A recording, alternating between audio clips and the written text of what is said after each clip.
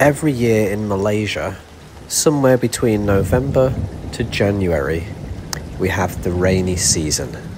And this brings stark temperature differences, dropping way down from the usual burning 36 degrees. We now find ourselves in a region of the world surrounded by rain.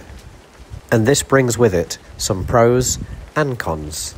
Let's see how the rainy season affects me and my family.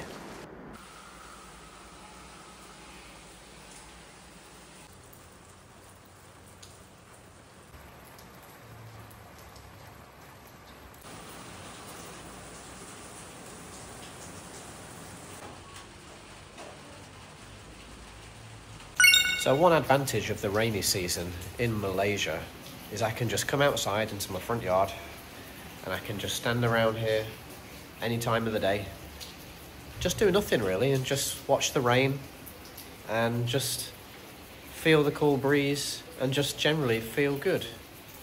Because, you know, cool weather is hard to come by in Malaysia, so when it rains, you better just enjoy it.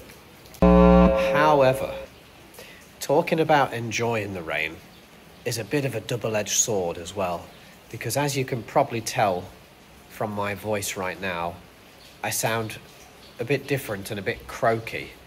And I've seen that every time the weather changes and it starts to get rainy and cooler, I get sick. I get this sore throat, I get runny nose, headaches, and that goes on for a few days when the weather changes. So, yeah, it's pretty dramatic in Malaysia because you get the searing hot temperatures of like 35, 36 and above, and then it drops right down to 27. I know my friends in England will laugh when I say it's dropped down to 27, but that's really cool for us. Um, and so this dramatic change in temperature really changes my health for a few days too. Um, another bad thing about the rainy season in Malaysia is trying to get this lot dry. It just doesn't dry in the rainy season and uh, laundry tends to pile up and stack up, and we have to go to the uh, laundry place and dry it there. So it's really difficult getting the clothes dry when the sun is not around. Now, another thing about the rainy season is that the house gets really dark during the daytime. I've got the curtains open here, so there's a bit of light coming through, but if I was to close them, and close everything, it would get really, really dark. Now, whether that's a good thing or not comes down to taste. But for me, it's a good thing because I can do this. Now, isn't that nice and cozy?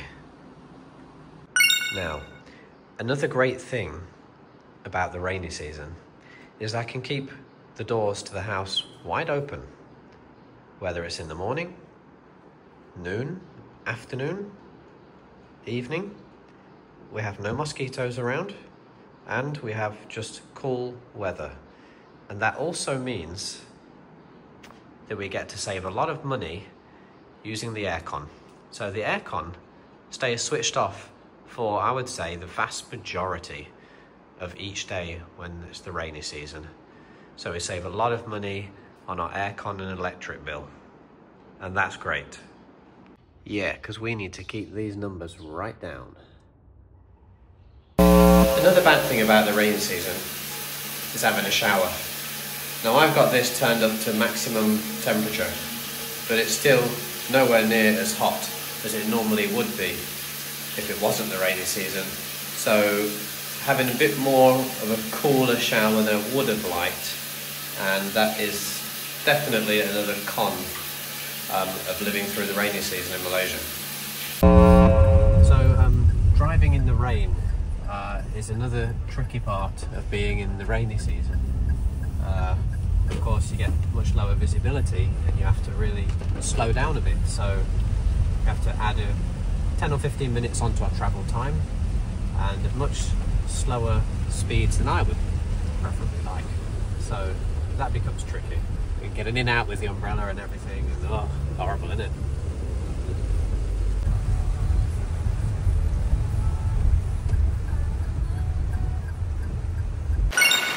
All right. Well, another good thing about the rainy season um, is the fact that it um, helps me to make good content uh, for videos because I love the weather and I love videoing the different kinds of weather uh, that we get in Malaysia, whether it's really hot, whether it's the rain. I love the big thunderstorms where we have the really cool lightning.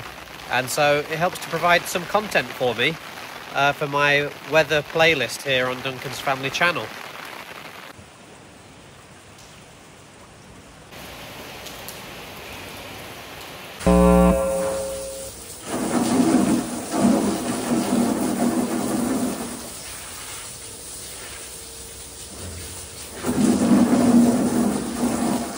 Yeah, washing our rabbits' boxes um, becomes a bit more difficult during the rainy season because we can't get out there, obviously because it's raining. So we have to do it under the roof here and uh, just makes it a little bit more inconvenient so we don't really enjoy doing it um, during the rainy season. The rain conveniently stopped for Fidelia. And of course there's long distance travelling.